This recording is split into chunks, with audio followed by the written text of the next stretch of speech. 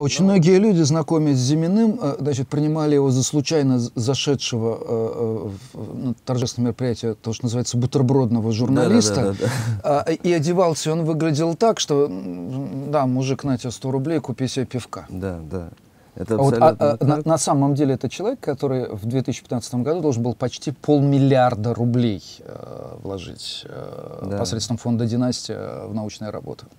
Э, кстати, вот примерно так же выглядел Сергей Петрович Скопица, с которым я имел счастье очень Вы же издавали его книгу по демографии, да? Да, мы издавали Где он доказывал, книгу. что народонаселение Земли становится, достигнув максимального уровня 12 миллиардов, затем откатит назад. Да. Э, идея спорная, на самом деле, многие ученые оспаривали. Э, но, тем не менее, вот Сергей Петрович очень похож на Зимина был, да? Они одевались примерно одинаково и очень простые в общении были. И вот э, я даже не знаю, конечно, говорить о том, что, слава богу, что человек умер не, невозможно просто.